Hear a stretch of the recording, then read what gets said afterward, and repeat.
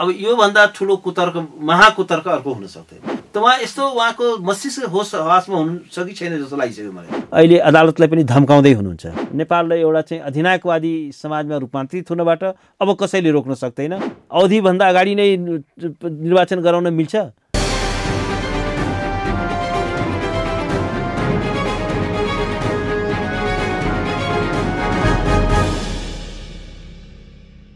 दर्शकवृन्द नमस्कार। कार्यक्रम साझा सरोकारमा तपाईँलाई स्वागत छ। दर्शकवृन्द साझा सरोकारमा आज हामी मूलत प्रतिनिधि सभा विघटन पछिको उत्पन्न राजनीतिक परिस्थितिको विषयमा केन्द्रित रहेर संवाद गर्दैछौ। खास गरी संघीय संसद अन्तर्गतको प्रतिनिधि सभा विघटन भइसकेपछि यसलाई त कतिपयले बलात् विघटनको संज्ञा दिएका छन्। यसपछि अब नेपालको राजनीति कता जाँदैछ? मुलुकको राजनीति कता जाँदैछ र कस्तो खालको राजनीतिक सङ्कट आउन सक्छ कस्तो खालको संवैधानिक सङ्कट आउन सक्छ भन्ने आम चासोको विषय बनिरहेको छ। आज हामी यी र यस्तै समसामयिक राजनीतिक घटनाक्रममा केन्द्रित रहेर संवाद गर्दैछौँ। हामीसँग हुनुहुन्छ वरिष्ठ अधिवक्ता कानूनविद संविधानविद दिनेश त्रिपाठी। सर्वप्रथम आउनुहोस् उहाँलाई कार्यक्रममा स्वागत गरौँ। स्वागत छ यहाँलाई साझा सरकारमा। धन्यवाद। खास गरी अहिले नेपालको पछिल्लो राजनीतिक सिनारियो हेर्ने हो भने संसद विघटन भयो। खास गरी प्रधानमन्त्रीको सिफारिसमा राष्ट्रपतिले तत्कालै संसद विघटन गरिदिनु भयो भनेर चाहिँ बाहिर निकै आलोचना पनि भयो। यसलाई धेरैले आलोचना पनि गरे। यसैलाई आधार मानेर पार्टी नै फुट्यो ने, नेपाल कम्युनिस्ट पार्टी नेकपा नै फुटि नै सक्यो। यसैलाई आधार मानेर भन्छन् हुन त के हो साँचो कुरो त्यो होला। तर अहिलेको अवस्थामा यो संसद विघटनले यति धेरै चर्चा परिचर्चा पाउनुको खास कारण चाहिँ के हो? अब होइन एउटा कुरा के हो भने यो प्रतिनिधि सभाको जुन विघटन भयो यो एउटा गम्भीर एउटा राजनीतिक षड्यन्त्रको उपज हो। किनभने यसलाई हामीले सामान्य घटनाको रूपमा नलिउँ किनभने एउटा धेरै एक्सर्साइजपछि धेरै सगलपछि लामो सकसपछि खरौँ रुपियाँ खर्च गरेर एकचोटि मात्र होइन दुई दुईचोटि संविधान सभाको निर्वाचन भएर त्योभन्दा अगाडि सशस्त्र द्वन्द्व भएर त्यो एउटा पिस प्रोसेसको एउटा उपज थियो यो यो अहिलेको संविधान। एउटा पिस कन्स्टिट्युसन थियो एउटा लामो कन्फ्लिक्ट पछि एउटा दीर्घकालीन शान्तिको लागि एउटा दिगो शान्तिको लागि ल्याइएको संविधान। एउटा लोकतन्त्रको संस्थागत विकासको लागि ल्याइएको यो संविधान। अब दसौँ वर्ष लागेर यो संविधान बन्यो। तर यो संविधान चाहिँ तिन वर्षमै स्वाहा हुँदैछ। र वास्तवमा के हो भने यो प्रतिनिधि सभाको मात्रै विघटन हो जस्तो मलाई लाग्दैन। वास्तवमा भन्यो भने यो संविधानकै विघटनको प्रक्रिया सुरु भयो। किनभने एकपछि अर्को त्यसो भए यो संविधानकै विघटन हो। संविधानकै विघटनको एउटा प्रक्रिया सुरु भयो र एकपछि अर्को गरेर संविधानलाई छत विछत तुल्याइँदैछ छिया छिया पारिँदैछ। यसको व्यापक अङ्गभङ्ग गरिएको छ। र वास्तवमा के छ भने संविधानलाई नै एउटा तिरोहित गर्ने एउटा प्रक्रियामा मुलुकलाई लगिँदैछ। र किनभने संविधान भनेको त आखिर एउटा गभर्नेन्सको एउटा बेसिक चाहिँ रोड म्याप हो एउटा मार्गचित्र हो। यसले एउटा दिगो शान्तिको लोकतन्त्रको नागरिक अधिकारको त्यसले त्यसले चाहिँ ग्यारेन्टी गर्दछ। अब संविधानविहीन लोकतन्त्रको संविधानविहीन आधुनिक शासन प्रणालीको अब परिकल्पना गर्न सकिँदैन। किनभने अहिलेको अहिलेको युग भनेको एउटा व्यापक लोकतान्त्रिकरणको युग हो। अब अहिले चाहिँ व्यक्ति स्वतन्त्रता चाहन्छ र आफ्नो व्यक्तित्वको विकास चाहन्छ र एउटा just social and political order चाहन्छ। एउटा न्यायपूर्ण सामाजिक राजनीतिक र आर्थिक व्यवस्था चाहन्छ ताकि चाहिँ के छ भने व्यक्तित्वको विकास हुन सकोस् आर्थिक विकास होस् प्रगतिहरू सुनिश्चित हुन सकोस् तर अहिले प्रधानमन्त्री केपी ओलीजीले के गर्नुभयो? ठिक छ। म म यहाँलाई त्यतातिर पनि जान्छु। तर ठ्याक्कै भन्दाखेरि मुलुकमा नेपालमा अहिलेसम्मको इतिहास नै हेर्ने हो भने पनि दुई हजार पन्ध्र सालदेखि यता पाँच पटक चाहिँ संसद चाहिँ विघटन भइसकेको अवस्था छ। पाँच पटक चाहिँ संसद विघटन भइसकेपछि अहिले चाहिँ सबैभन्दा बढी यसले चर्चा परिचर्चा पाएको छ। यसको कारण चाहिँ के होला? यस्तो थियो त्यो बेला किन अहिले चाहिँ धेरै नै अब त्यो बेला पनि यसको व्यापक दूरगामी असर भयो र जस्तो सैतालिस सालमा को संविधान किन तिरोहित भयो? किन त्यो संविधानको अनटाइमली किन डेथ हो? किन आसामिक निधन भयो? त्यो संविधानले किन मृत्युवरण गर्यो? त्यसको एउटा अरू धेरै कारण थिए होलान्। तर एउटा त्यसको प्रमुख कारण के पनि थियो भने प्रतिनिधि सभाको एउटा विघटनको जुन अधिकार थियो प्रधानमन्त्रीमा त्यसको टाइम एन्ड अगेन चाहिँ व्यापक दुरुपयोग भयो। र सबै प्रधानमन्त्रीहरू चाहिँ के छ भने आफूलाई जङ्गबहादुर बनाउने कोसिस गरे र प्रतिनिधि सभा भङ्ग गर्दै गए। र वास्तवमा के छ भने त्यसले एउटा के दुष्परिणाम निकाल्यो भने त्यो प्रतिनिधि सभाको मात्रै भङ्ग भएन कि अन्ततो गतवा त्यसले संविधानकै संविधानलाई नै भङ्ग गर्यो संविधानलाई नै तिरोहित गर्यो। अब वास्तवमा के छ भने यो बहत्तर सालको जुन संविधान हो त्यो संविधान एउटा त्रासमा त्रासको मनोविज्ञानले पनि त्यहाँ काम गरेको छ। भएको मनोविज्ञानले पनि काम गरेको छ। किनभने त्यो त्यो बेलाको किनभने म पनि एउटा संविधानको एउटा विद्यार्थीको नाताले मलाई प्रति यो संविधान सभाको विभिन्न कमिटीमा बोलाइएको थियो आफ्नो विचार व्यक्त गर्नको लागि एज ए एक्सपर्टको रूपमा। र मैले त्यहाँको छलफलहरूमा भाग लिएको छु। शासकीय स्वरूप कस्तो हुने भन्ने विषयमा त्यो त्यो कमिटीमा पनि मलाई बोलाइएको थियो निम्त्याइएको थियो मैले एज आफ्नो विचार व्यक्त गरेको थिएँ। त त्यो छलफलबाट के देखिन्थ्यो भने एउटा त्रास के देखिन्छ भने जुन सैँतालिस सालको संविधानमा एउटा धारा त्रिपन्न चार थियो। त्यो त्रिपन्न चारले चाहिँ के छ भने प्रधानमन्त्रीको सिफारिसमा श्री पाँचले प्रतिनिधि सभा विघटन गर्न सकिबस्दनेछ भन्ने एउटा प्रावधान थियो। त्यो प्रावधानलाई टेकेर त्यसको एउटा टेकेर चाहिँ के छ भने पटक पटक प्रतिनिधि सभा भङ्ग भयो। त प्रतिनिधि सभा मात्र भङ्ग भएन त्यसले अन्ततो गतवा त्यो संविधान नै समाप्त गरियो। त्यसकारण संविधान सभाका सदस्यहरू के कुरामा चाहिँ सचेत थिए भने कमसेकम अहिलेको संविधानमा प्रधानमन्त्रीलाई अब त्यो विघटनको अधिकार चाहिँ नदिउँ। त्यसो भए अहिलेको यो संविधानमा कुनै पनि संसद विघटनको अधिकार नै दिएको त्यो अहिलेको संविधानले को परिकल्पना बटम लाइन के हो भने विघटन प्रतिनिधि सभाको विघटनलाई असम्भव प्राय तुल्याइएको छ।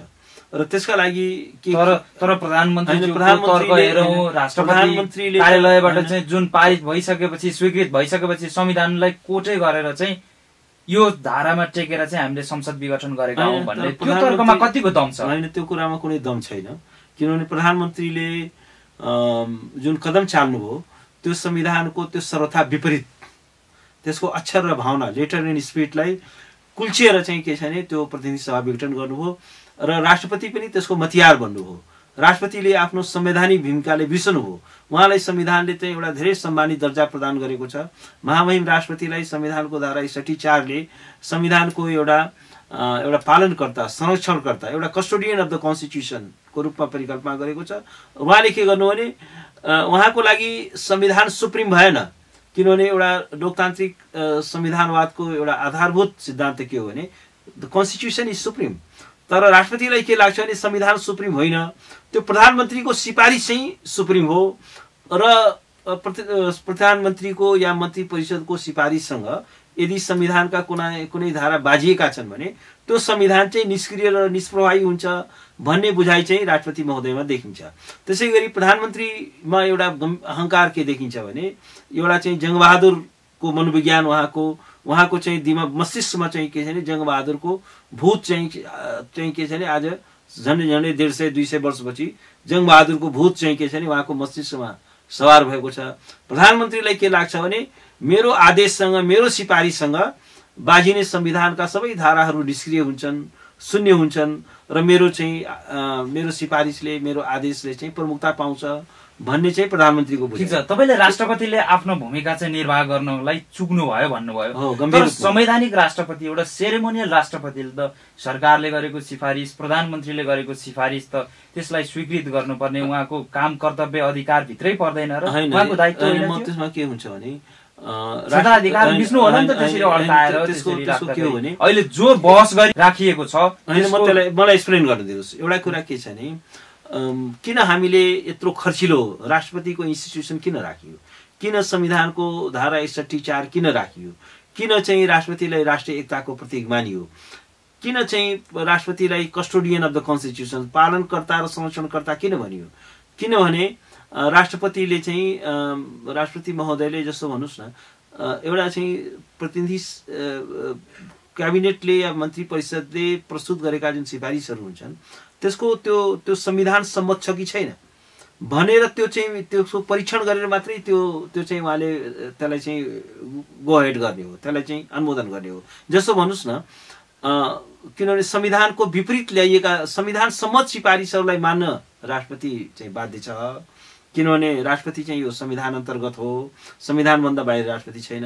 तर राष्ट्रपतिले पनि चाहिँ के अनि यही संविधानलाई टेकेर यही संविधानको आडमा ल्याइएको हो भनेर त सत्तारूढ दलका नेताहरूले अझ गरेको गरे होइन। सत्तारूढ दलको नेताले के भन्यो भन्ने कुरा प्रासङ्गिक हुँदैन जस्तो भन्नुहोस् न जस्तो प्रतिनिधि सभा कतिपय कानुनविदहरूले पनि त्यही नै भनेका छन् किन भन्दा यो त अन्तिम अस्त्र हो होइन अब संसद विभाजन। होइन, अब ती कस्ता कानुनविदहरू हुन् त्यो उनीहरूलाई नै जानुन् होइन तर कानुनको सामान्य समझ भएको व्यक्तिले म त के भन्छु भने अस्ति मैले अदालतमा बहस गर्दाखेरि के भन्यो भने यो संविधानको धारा छिहत्तरको जुन परिकल्पना हो त्यसको जुन बटम लाइन हो त्यसले स्थापित गरेको चाहिँ मूल्य र मान्यता के हो भने त्यो बुझ्नको लागि त्यो कुनै संविधानविद पनि हुनु पर्दैन कुनै कानुनविद पनि हुनु पर्दैन। एउटा सामान्य हाई स्कुलमा पढ्ने विद्यार्थीलाई पनि या सामान्य साक्षरता भएको एउटा व्यक्तिलाई पनि या निरक्षर व्यक्तिलाई पनि कसैले पढेर सुनायो भने उसले पनि के भनिदिन सक्छ भने होइन प्रधानमन्त्रीलाई त यो अधिकार प्राप्त छैन। त्यस कारण यी ती कस्ता संविधानविद हुन् त्यो त्यो प्रश्न उहाँहरूले नै सोध्नु उहाँहरूको बारेमा म कुनै के कुरा भन्न चाहन्न। तर जस्तो भन्नुहोस् न जस्तो प्रधानमन्त्रीज्यूले कुन धारा कोट गर्नुभयो छिहत्तर एक छिहत्तर- एक। उहाँले भन्नु छिहत्तर एक बमोजिम। छिहत्तर एक छिहत्तर छिहत्तर एकको धारा तपाईँले पढ्नुभयो भने छिहत्तर दुईले छिहत्तर दुई त भनेको छैन तर छिहत्तर दुई पनि पढ्नुभयो भने छिहत्तर एकले के भन्छ?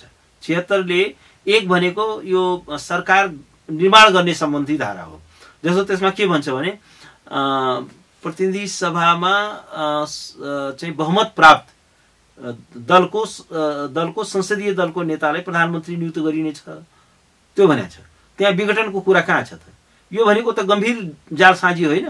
संविधानमाथि गरिएको गम्भीर धोकाधडी होइन गम्भीर बदनियत होइन प्रतिनिधि सभाको त अत्यन्त कपटपूर्ण तरिकाले चाहिँ के छ भने विघटन गरिएको छ। संविधानले अधिकारै नदिएको चाहिँ धारा प्रयोग गरेर असम्बन्धित धाराहरू प्रयोग गरेर त्यो प्रतिनिधि सभाको विघटनसँग कुनै साइनो नै नभएका धाराहरू प्रयोग गरेर प्रतिनिधि सभालाई चाहिँ के छ भने को प्राण हरण गरियो। त्यसको चाहिँ के छ भने त्यसलाई मृत्युवरण गर्नलाई बाध्य गरियो।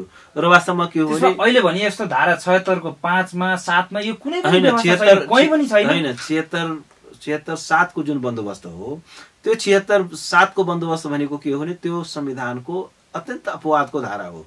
त्यो चाहिँ के हो भने छिहत्तर पाँच बमोजिमको प्रधानमन्त्रीले मात्रै त्यो टेक्न सक्छ। अब तपाईँले के छ भने के किनभने यो संविधानको एउटा बटम लाइन के हो भने जबसम्म यो प्रतिनिधि सभाले वैकल्पिक सरकार निर्माण गर्न सक्छ तबसम्म यो प्रतिनिधि सभालाई मृत्यु मृत्युदण्ड दिन मिल्दैन।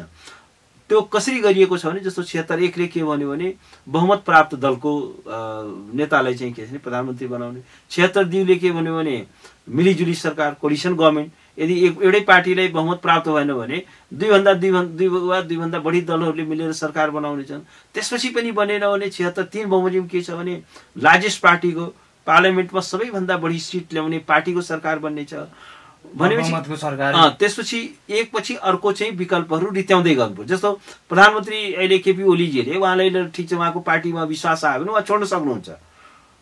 छोडेपछि के हुन्छ भने फेरि छिहत्तर दुईको प्रक्रिया सुरु हुन्छ। छिहत्तर तिनमा जाला। र लार्जेस्ट पार्टीको पनि सरकार बन्न सकेन भने वास्तवमा अघि मैले जुन भने नि अहिलेको यो संविधानले प्रतिनिधि सभाको विघटनलाई असम्भव प्राय तुल्याएको छ। किनभने संविधानमा धारा छिहत्तर पाँच पनि छ। छिहत्तर पाँच के भने एउटा व्यक्तिले पनि सरकार बनाउन सक्छ। कुनै सांसद एक महिनाभित्रमा विश्वासको मत विश्वासको मत लिने एउटा आधार प्रस्तुत गर्यो भने त्यसले पनि गर्न सक्छ। भनेपछि यो संविधानले के गर्यो? एउटा पछि अर्को। बहुमतको भएन भने मिलिजुली मिलिजुली भएन अल्पमतको अल्पमतको भएन एउटा व्यक्तिको सरकार। अब सारा प्रयास गर्दा पनि यो पार्लियामेन्ट चाहिँ के छ भने सरकार बनाउन असफल भयो। बनाउनै नसक्ने अवस्था भयो भने। तर त्यस्तो त्यो भनेको चाहिँ एकदमै त्यो अपवादको व्यवस्था हो। वास्तवमा के छ भने बहुमतको नबल्ला मिलिजुली त बनिहाल्छ नि। मिलिजुली बनेन भने चाहिँ अल्पमतको सरकार त बनिहाल्छ नि। त्यसपछि पनि भएन व्यक्तिगत सरकारको कुरा पनि छ। भन्दाखेरि के छ भने यो त्यसपछि बल्ल जब कुनै चाहिँ सबै विकल्पहरू असफल भए अनि बल्ल चाहिँ के छ भने पार्लियामेन्ट डिजल्भ हुन सक्छ। अब प्रधानमन्त्रीले चाहिँ के के गर्नु हो त्यो चाहिँ असम्बन्धित धाराहरूको प्रयोग गरेर एकदमै जालसाजीपूर्ण तरिकाले दिउँसै रात पार्ने गरी संविधानमाथि कु गर्नुभयो संविधानमाथि आक्रमण गर्नुभयो संविधानलाई चाहिँ अङ्गभङ्ग तुल्याउनु भयो त्यसलाई छिया छिया उहाँले पार्नु अहिले जुन तर्क गर्दै हुनुहुन्छ नि मलाई पार्टीभित्रबाट घेराबन्दी गरियो म माथि नै अविश्वासको प्रस्ताव दर्ता गर्ने चाहिँ जमर्को गरियो राष्ट्रपतिमाथि चाहिँ म अभियोगको प्रस्ताव अघि सार्न खोजियो।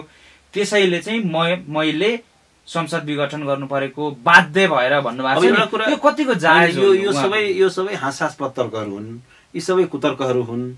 र प्रधानमन्त्रीजीले जुन चाहिँ सर्वोच्च अदालतमा जुन लिखित जवाब प्रस्तुत गर्नुभएको छ त्यो कुनै पनि संवैधानिक लजिक एउटा पनि छैन। जस्तो भन्नुहोस् न संविधानले एउटै मात्रै परिकल्पना के गर्यो भने तिनै पक्षबाट?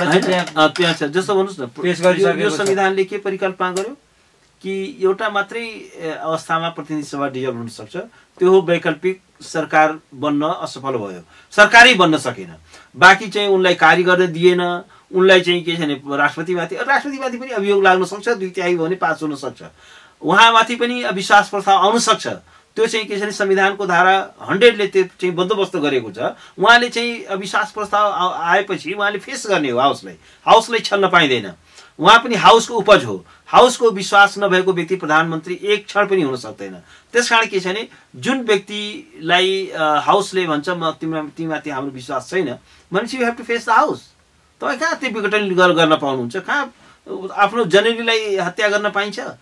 तपाईँले जसले जन्म दियो त्यो त्यसलाई हत्या गर्न पाइन्छ? त्यस कारण के छ भने यो जति पनि मलाई काम गर्न दिएन हेर्नुहोस् यो सबै असक्षम व्यक्तिहरूले गर्ने तर्कहरू हुन्। ठिक छ। तपाईँको विचारमा अहिलेको यो उहाँहरूले नै दावी गरिरहनु भएको थियो दुई तिहाईको प्रधान चौसठी प्रतिशत मतको प्रधानमन्त्री हो भनेर अहिले पनि दावी गर्दै हुनुहुन्छ प्रधानमन्त्रीज्यूले होइन?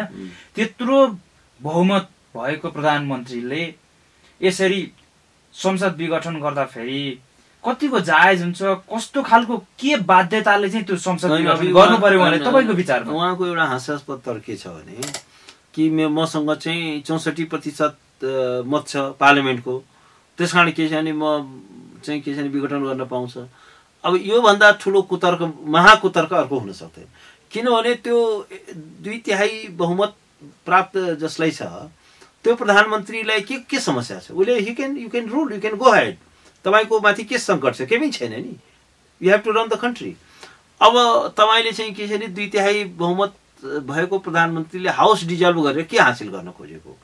कि उसलाई अब मलाई यो सिट बढी भयो? मेरो चाहिँ यो बोझ चाहिँ एकदम बढी भयो। अब मलाई चाहिँ दुई तिहाई होइन अब मलाई त एक तिहाई मात्रै सिट भए पुग्छ। भन्नलाई चुनावमा जाने हो? के हो? यो त महाकुतर्क भएन। त उहाँ यस्तो उहाँको मस्तिष्क होस हवासमा हुनु छ कि छैन जस्तो लागिसक्यो मलाई। उहाँको चाहिँ दिमागले साँच्चीकै फङ्सन गर्छ कि गर्दैन। उहाँ यस्तो तर्क दिनुहुन्छ कि कि जसको कुनै यथार्थसँग कुनै सम्बन्ध हुँदैन। एउटा हास्यास्पद तर्क दिनुहुन्छ। हुँदा हुँदा उहाँले सर्वोच्च अदालतमा अहिलेको अवस्थामा मध्यावधि निर्वाचन घोषणा गर्नु संसद विघटन गर्नु कुनै पनि अहिलेको आवश्यकता होइन। होइन यो यो चाहिँ प्रतिनिधि सभा विघटन गर्नु। पहिलो कुरो त संवैधानिक रूपमा यो कु हो? संवैधानिक रूपमै यसको कुनै जस्टिफिकेसन छैन। अर्को कुरा राजनीतिक रूपमा पनि यो सुइसाइडल छ। यो चाहिँ के हो भने अर्को निर्वाचन गराउनको लागि यो गरिएको होइन। यत्रो आर्थिक महासङ्कट छ। एउटा सरकारसँग चाहिँ एउटा भेन्टिलेटर किन्ने पैसा छैन। कोभिडको भ्याक्सिन किन्ने पैसा छैन। र ख अर्बौँ रुपियाँ चाहिँ के छ भने चुनावमा चाहिँ झोकिँदैछ। र वास्तवमा के छ भने सर एउटा फेल स्टेट बनाइदिन्छ। वास्तवमा के छ भने चुनाव हुन गइरहेको छैन। र कोभिडको जुन महासङ्कट छ यो बेलामा अब कोभिड टू पनि आइसक्यो भनिँदैछ। यो स्थितिमा अब अब निर्वाचन सम्भव छ? तपाईँ घर दैलो कार्यक्रम हुन्छ ठुल्ठुला र्यालीहरू हुन्छ डिस्टेन्सिङ मेन्टेन गर भन्ने कुरा छ। जुन बेला एउटा केस पनि नभेटिँदाखेरि पनि यहाँ कर्फ्यू लगाइयो होइन? आज एकै दिनमा हजारौँ केसहरू भेटिँदैछ। सैकडौँको सङ्ख्यामा मान्छेहरूको मृत्यु भइसक्यो। हजारौँको सङ्ख्या अब नाग हजारौँको सङ्ख्याको मान्छेको मृत्यु भइसक्यो। भोलि चाहिँ के छ भने जब चुनावले त के छ भने घर घर मान्छेहरूको आवत जावत बढ्नेछ र यसले नेपालमा यो सङ् यो महामारीले भयावह रूप लिन सक्छ। अनि जसरी एउटा कुरा भनौँ जसरी नेपालमा के हो भने एउटा एउटा चाहिँ कटु इतिहास छ। त्यो के छ भने हिजो सशस्त्र द्वन्द्वमा प्रतिनिधि सभा विघटन गरियो र प्रतिनिधि सभाको निर्वाचनै हुन सकेन। द्वन्द्वको कारणले। चुनाव चाहिँ सारेको सारे गर्नु पर्यो र त्यहाँ चाहिँ के भने त्यो सम त्यो त्यो चाहिँ संविधानै समाप्त हो र एउटा मुलुक चाहिँ संविधान पनि त्यस्तै विहीनताको अवस्था अहिले पनि। त्यस्तै अहिले वास्तवमा मुलुकलाई एउटा संविधानहीनताको स्थितिमा मुलुकलाई पुर्याइँदैछ र यो राष्ट्रमाथि चाहिँ गम्भीर धोकाधडी भएको छ। यो लोकतन्त्रको अपहरण भएको छ यो संसद विघटनको मुद्दा चाहिँ सर्वोच्च अदालतमा विचाराधीन छ। अब यसले कस्तो फैसला गर्ला सर्वोच्चले त्यसपछि कस्तो खालको परिस्थिति उत्पन्न हुन्छ तपाईँको विश्लेषण अब होइन? यसमा मेरो के छ भने सर्वोच्च अदालत एउटा कस्टोडियन अफ द कन्स्टिट्युसन हो संविधानको चाहिँ अन्तिम व्याख्याता हो संविधानको शब्द र अक्षरलाई भावनाले टेकेर अदालतले अदालतले फैसला गर गर्छ गर्नुपर्छ भनेर चाहिँ हाम्रो चाहिँ त्यो लेजिटिमेट एक्सपेक्टेसन हो। अदालतले कसैलाई चिन्दैन। अदालतले एउटै कुरा चिन्दछ त्यो हो संविधानलाई चिन्दछ कानुनलाई चिन्दछ। यसकोमा यसको पछाडि रहेको मर्म र भावनालाई चिन्दछ। बाँकी अरू कुराहरू चाहिँ इरिलेभेन्ट हुन्। अब प्रधानमन्त्रीले के भने फलानाले के भने उसले भाषणमा के भने उनलाई काम दियो कि दिएन भन्ने कुरा यो जुडिसियल रिभ्यूको विषय होइन। त्यो चाहिँ के छ भने अदालतले त्यो हेर्दैन उहाँले चाहिँ समृद्धि ल्याउँदै हुनुहुन्छ कि के गर्दै हुनुहुन्छ कति समृद्धि ल्याइसक्नुभयो कति मान्छेलाई अरबपति बनाइसक्नुभयो यो बिचमा उहाँको आसे पासे त्यस कारण के छ भने उहाँलाई अझै आफ्ना नातेदारलाई केही अझै समृद्ध बनाउनु बाँकी छ कि छैन भन्ने कुरा अदालतको सरकारको विषय होइन। त्यस्ता विषयमा चाहिँ अदालत चाहिँ म प्रवेश गर्दैन। तर वास्तवमा के छ भने अहिले प्रधानमन्त्रीजी अहिले अदालतलाई पनि धम्काउँदै हुनुहुन्छ। अहिले उहाँको जुन भाषा छ उहाँले के भन्दै हुनुहुन्छ भने एजिफ कि उहाँ चाहिँ सुपर जुडिसियरी हो। यो यो चाहिँ सर्वोच्च अदालतभन्दा माथि उहाँको स्थान छ र उहाँ चाहिँ संविधान र कानुनको अन्तिम व्याख्याता चाहिँ उहाँ हो र सर्वोच्च अदालत एजिफ उहाँको चाहिँ अधीनस्थको निकाय हो। उहाँ के भनिदिन्छ ल ढुक्क हुनुहोस् यो प्रतिनिधि सभा चाहिँ के छ भने पुनर्स्थापना हुँदैन यो बौरिँदैन। हामी पछि अनि अनि। अनि यो यो चाहिँ राजनीतिक प्रश्न हो। सर्वोच्च अदालतले त्यो संविधानमा त्यो व्यवस्थै छैन। भनेर चाहिँ के छ भने अदालतलाई चाहिँ के छ भने उहाँ धम्काउँदै हुनुहुन्छ। अदालतलाई प्रभावमा पार्दै हुनुहुन्छ। यो भनेको अब्स्ट्रक्सन अफ जस्टिस हो। यो भनेको न्यायिक प्रक्रियामाथि गरिएको गम्भीर हस्तक्षेप हो। उहाँ अदालतलाई चाहिँ के छ भने एउटा त्रासमा पार्न खोज्दै हुनुहुन्छ। र वास्तवमा एउटा प्रधानमन्त्रीका लागि यो अशोभनीय छ र एउटा हामी खुला समाजमा छौँ एउटा ओपन सोसाइटीमा छौँ। यस्तो बेलामा यस्तो अभिव्यक्ति आउँदाखेरि हामी सबै मौ मौन दर्शक भएर बसिरहेका छौँ। तपाईँले सम्मानित सर्वोच्च अदालतले यसको चाहिँ फैसला गर्छ भन्नुभयो। अन्तिम व्याख्याता नै सर्वोच्च हो। हो। हुन त तैपनि अहिले चाहिँ कतिपयले चाहिँ के आशंका पनि गरिरहेका छन् भने सर्वोच्च अदालतकै मिलेमत्वमा त्यहाँ न्यायाधीशहरूकै प्रधान न्यायाधीशकै मिलेमत्वमा चाहिँ यो कदम भएको हो। अब यो सदर गर्छ। सदर नै हुन्छ यो संसद विघटन। अब हामी फर्किने ठाउँ छैन भनेर पनि सुनिन्छ त्यो गुन्जाइसहरू तपाईँलाई चाहिँ के लाग्छ? म होइन- भन्दाखेरि त्यो सर्वोच्च सम्मानित अदालतको ठाउँ त एक ठाउँमा छँदैछ होइन यस्तो छ। अब म चाहिँ एउटा आफै वरिष्ठ अधिवक्ता हुँ। मैले चाहिँ संविधानलाई कानुनलाई टेकेर त्यसमाथि विश्वास भएर नै म सर्वोच्च अदालत गएको छु। यो विघटनलाई चुनौती दिएर। यसको यसको चाहिँ के छ भने यो यसको संवैधानिकताको परीक्षण गर्ने थलो भनेको सर्वोच्च अदालत हो। प्रधानमन्त्रीजी भन्नुहुन्छ यो राजनीतिक विषय हो यसमा अदालतले प्रवेश गर्न मिल्दैन। यो विषय चाहिँ जस्टिसिएबल होइन या न्यायिक पुनरावलोकनको विषय हुँदैन। मलाई के लाग्छ भने उहाँको जुन लिगल टिम छ नि त्यो अत्यन्त कमजोर छ। उहाँको लिगल टिमसँग त्यो एउटा सामान्य चाहिँ के छ भने एउटा चाहिँ संवैधानिक समझ पनि छैन कि कि उहाँले त्यो लिगल टिमलाई पनि ट्रस्ट नगरेर आफैले आफ्नो भाषणको सबै अंश त्यसमा राख्नुभएको छ के हो? तर के छ भने त्यो प्रधानमन्त्रीको जवाब चाहिँ अत्यन्त कमजोर छ। त्यो चाहिँ कानुनी तर्क संवैधानिक तर्क एउटा पनि छैन। उहाँ चाहिँ के छ भने राजनीतिक भाषणबाजीको सहारा लिनुभएको छ। त्यसबाट पनि के देखिन्छ प्रधानमन्त्रीको लिखित जवाब तपाईँले पढ्नुभयो भने यसबाट के स्पष्ट हुन्छ भने उहाँलाई उहाँको कदमलाई संविधानले समर्थन गर्दैन। संविधानले उहाँलाई मद्दत गर्दैन। त्यस कारण के छ भने उहाँ राजनीतिक भाषणबाजीको सहारा लिनुभएको छ। उहाँ उहाँको जवाबमा कुनै लिगल लजिक छैन। र एउटा कुरा म के भन्न चाहन्छु ठ्याक्कै भन्दाखेरि तपाईँ यो सदर हुन्छ कि बदर हुन्छ? के गरिदिन्छ होइन? मेरो विचारमा अदालतले संविधानलाई टेकेरै फैसला गर्नुपर्छ। संविधानलाई टेकेर गर्दाखेरि यो सदर गर्ने ठाउँ कहीँ कतै छैन। यो चाहिँ यो प्रधानमन्त्रीको जुन यो सिफारिस हो यो यो चाहिँ के छ भने बदर योग्य छ। यो संविधानलाई टेकेर गरिएको छैन। यो एउटा नाङ्गो आँखाले हेर्दाखेरि पनि प्राइमा फेसी रूपमा हामी कानुनको भाषामा भन्दाखेरि हेर्दाखेरि पनि यो संविधानको सर्वथा बरखिलाफमा छ संविधानको अक्षर र भावनाको खिलाफमा छ। तर अब चाहिँ तपाईँले भने जस्तो यो एउटा if it is a part of larger conspiracy त्यो हो भने त अब त इट इज अ कलेक्टिभ सुसाइडलको पाथ हुनेछ। त्यसपछि त एउटा कुरा के छ भने यो संविधान पनि रहँदैन लोकतन्त्र पनि रहँदैन नेपाल एउटा फेल स्टेट हुन्छ।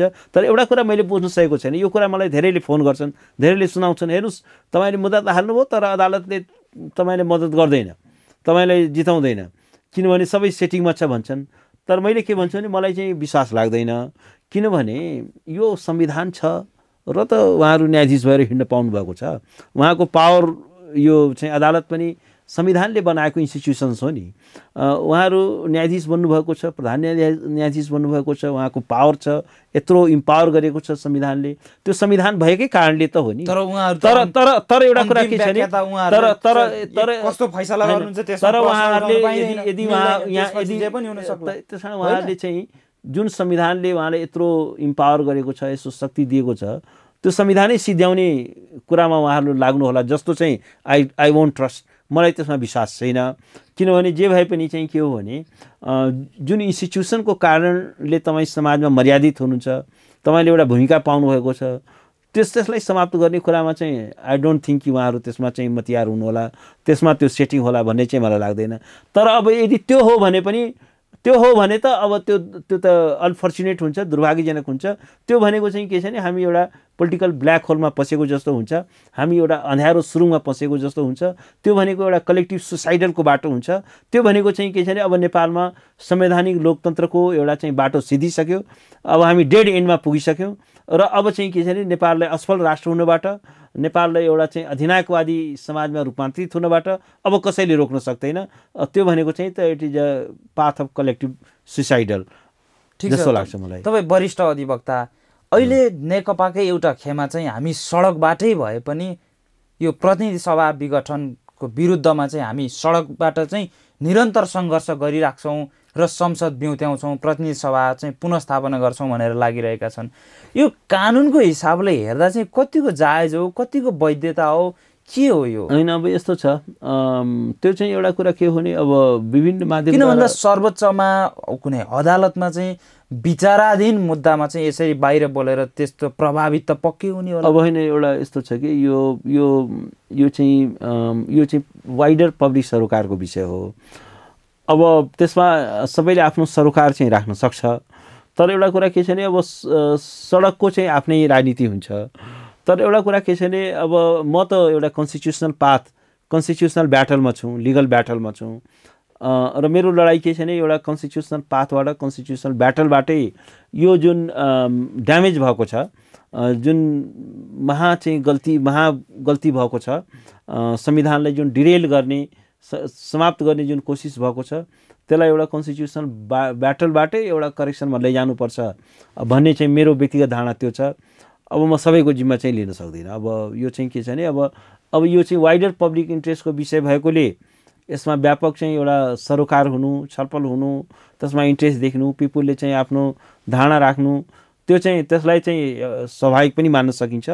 तर एउटा कुरा के छ भने यो मूलत यसलाई सच्याउने भनेको चाहिँ यो यो के हो भने संविधानभित्रका जुन अनुसार गरिएका जुन गल्तीहरू हुन्छन् त्यसलाई सच्याउने भनेको संवैधानिक प्रक्रियाद्वारा नै त्यो बाटो नै भरपर्दो यदि बाटो यो। अदालतले सदर गरिदियो भने चाहिँ कस्तो खालको संवैधानिक सङ्कट आउन सक्छ? कस्तो खालको अदालतले? त्यो- त्यो भयो भने त अब यो डेथ अफ द कन्स्टिट्युसन हुन्छ। एक शब्दमा भन्यो भने संविधान मृत्यु हुन्छ। संविधानको चाहिँ के छ भने धुकधुकी पनि समाप्त हुन्छ।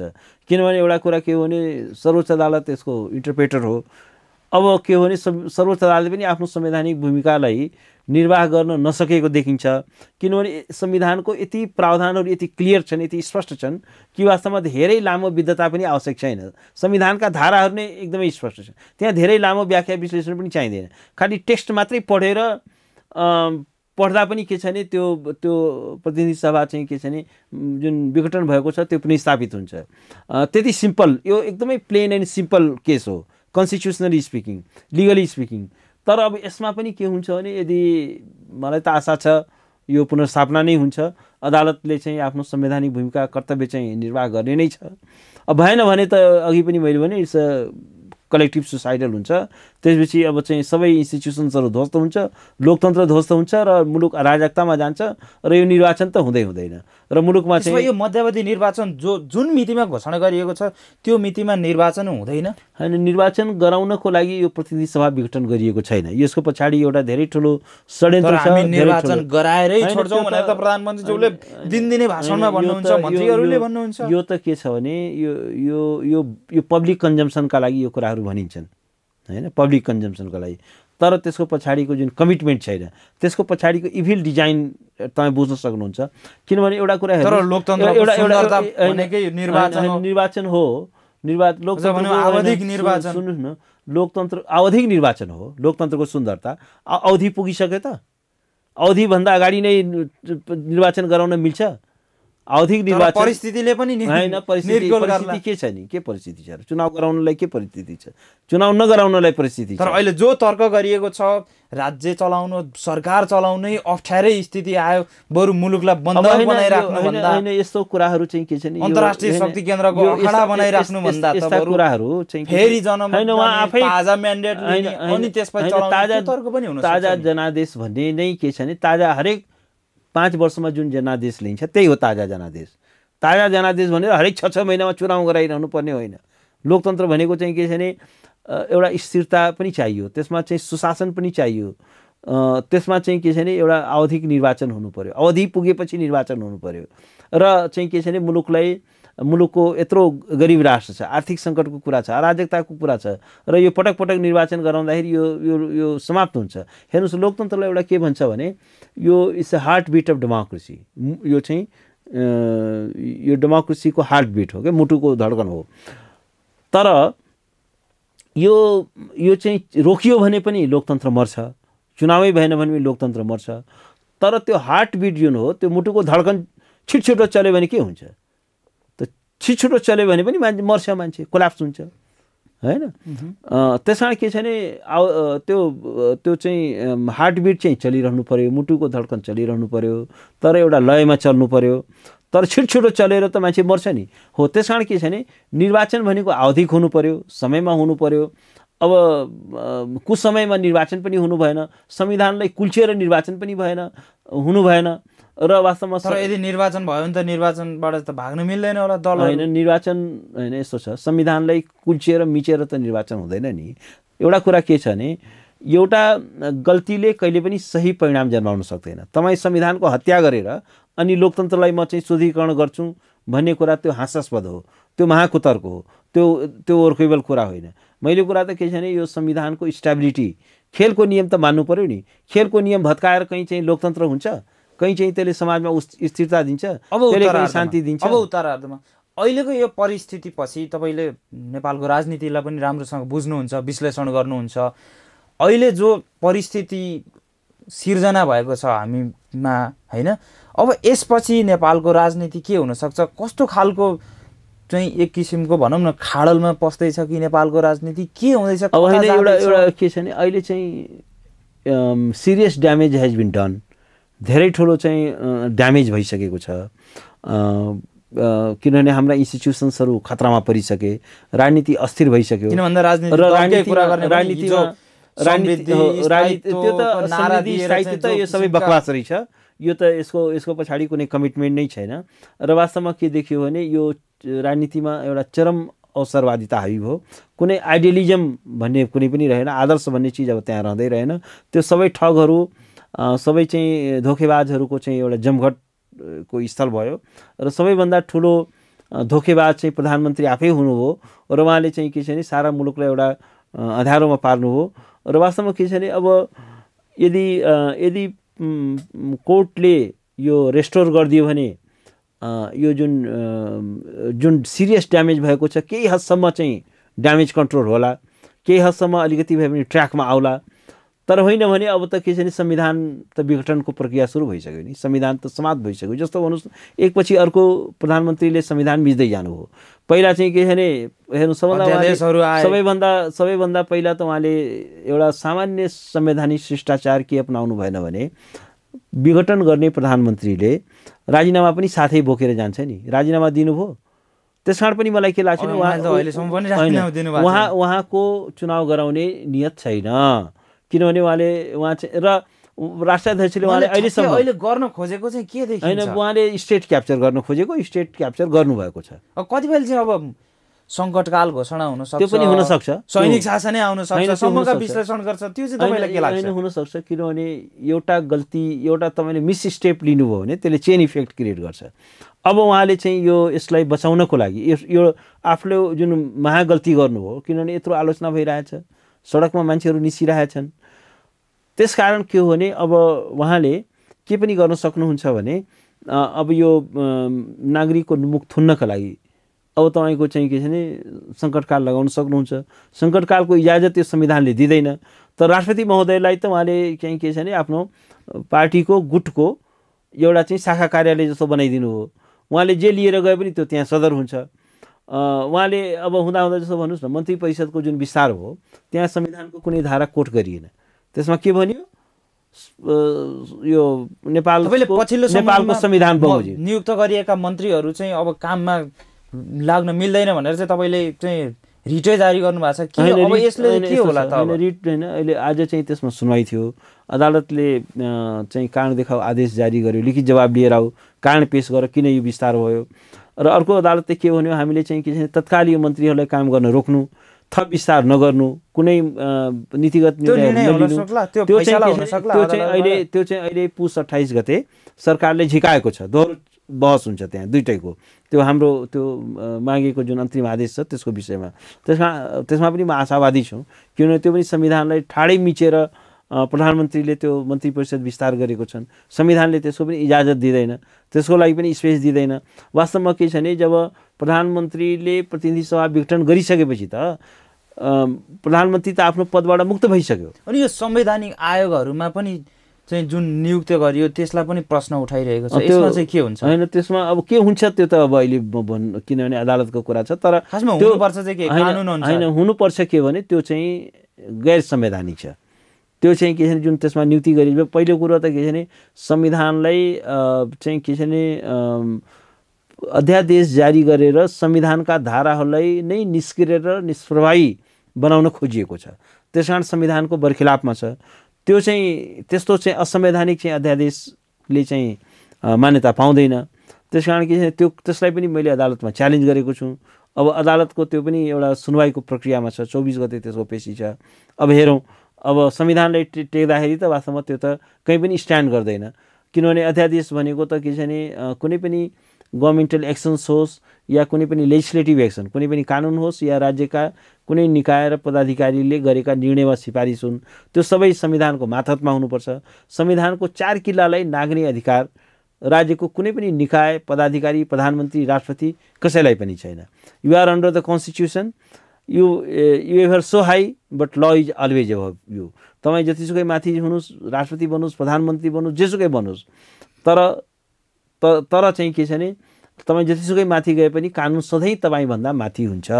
भन्नु भनेर यो यो नै एउटा विधिको शासनको आधारभूत मूल्य र मान्यता हो। संवैधानिक चाहिँ प्रणालीको यो नै मुठु र आत्मा हो। त्यस कारण के छ भने यो अहिलेको जुन एक्सन्सहरू छन् series of unconstitutional series of illegal एक्सन्सहरू भएका छन्। सो यसलाई चाहिँ के छ भने अदालतले क्वास गर्नै पर्छ र संविधानलाई चाहिँ एउटा ट्र्याकमा चाहिँ ल्याउनु जरुरी छ। हस् समय र संवादको लागि धन्यवाद। धन्यवाद। हस् नमस्कार। नमस्कार।